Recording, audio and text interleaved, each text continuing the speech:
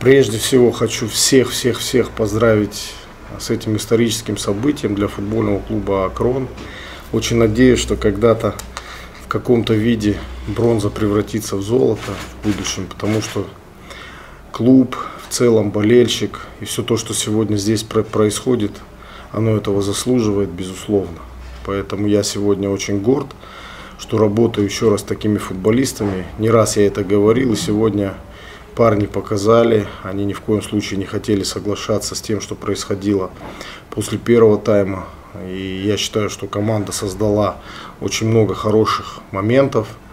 Э, команда была близка к тому, чтобы забить и 3, и 4, и, возможно, 5 мячей. Да? То есть я очень хотел бы похвалить буквально каждого футболиста за их отношение к этому матчу при достаточно таком, знаете, морально-психологическом тяжелом состоянии, потому что они, как бы мы этого не хотели, мы все равно думали о том, что впереди два самых важных матча в жизни каждого футболиста. И несмотря на это, футболисты все равно проявляли большую, скажем так, большой профессионализм, в высшей степени профессионализм, отношение, любовь к своему клубу, любовь к болельщику, к себе самому как таковому. Поэтому я очень-очень им благодарен за то, что они сегодня делали на поле. Я считаю, что мы сегодня закономерно победили. Сезон для закончен для многих, но не для нас. Как планируете готовиться к таковому? Ну, во-первых, нам надо сейчас передохнуть. Я считаю, что э, завтрашний выходной он даст нам возможность э, и футболистам переосмыслить все то, что происходило до сегодняшнего дня все то, что будет происходить в ближайшее время, да, в плане вот этих стыковых матчей. Будем ждать соперника сегодня с нетерпением, поймем, кто все-таки к нам попал. Э, и будем очень серьезно к этому готовиться, потому что надо выложиться на все э, сто процентов каждому, и порой на поле делать невозможно, чтобы получить максимальный результат. Но это будет уже другая история, это будут другие матчи и по накалу, и по качеству, и по уровню, и по уровню мотивации в первую очередь. Поэтому к этому матчам надо спокойно готовиться. И я уверен в каждом футболисте, что мы готовы к тому, чтобы играть с командами премьер-лиги. Тем более у команды есть хороший опыт, очень позитивный опыт.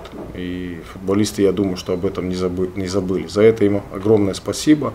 Еще раз хочу поблагодарить всех абсолютно участников этого сегодняшнего, скажем так, торжества, которое позволило нам выиграть бронзовые медали. И всех тех, кто работал до нас здесь, и все те тренерские штабы, которые за все это время создали такую, знаете, хорошую, серьезную, да, скажем так, конкурентную команду по всем направлениям. Спасибо болельщику прежде всего за то, что ну, э, мы сегодня имеем такую, знаете, работу, где очень приятно работать. Сегодня в первом тайме провели вынужденную замену Артура Глояна. Получили какие-то уже первые данные технического штаба? Ну, не получили. Э, надеемся на скорейшее, скажем так, э, исследование, потому что надо самое главное понять, что у него. Э, Артур все это время, если посмотреть даже на датчики, и тот анализ физической деятельности, который он осуществлял в каждом матче. Он безусловный лидер в плане беговой работы. Да, то есть, и мы сегодня думали о том, чтобы дать ему передохнуть, но накал вот этот и желание э, быть лучшими, да, то есть э, всей команды, оно не позволило мне пойти на этот шаг. И трудно сейчас судить, что будет, но я очень надеюсь, очень-очень надеюсь, что это спазм, потому что не видел я такой прям ситуации, где бы мог быть э, какой-то надрыв э, мышцы, да, то есть или какое-то повреждение. Я очень в это верю и очень в это надеюсь. Но то, что касается игры, мы очень хорошо начали, у нас был хороший прессинг, и мы несколько хороших моментов имели, но чуть неправильно распорядились мячом, не так агрессивно. Вот. Потом игра выровнялась, но мы достаточно неплохо провели первый тайм в целом, в целости. Но, к сожалению, то, о чем я говорил в раздевалке, не получилось во втором. То есть мы прижались к своим воротам, и э, это позволило Акрону оказывать на нас большое давление. Это связано с тем, что У нас сегодня так немного было ресурсов для того, чтобы освежать игру, и плюс мы теряли мячи в центральной части поля и не смогли отодвинуть игру от нашей половины.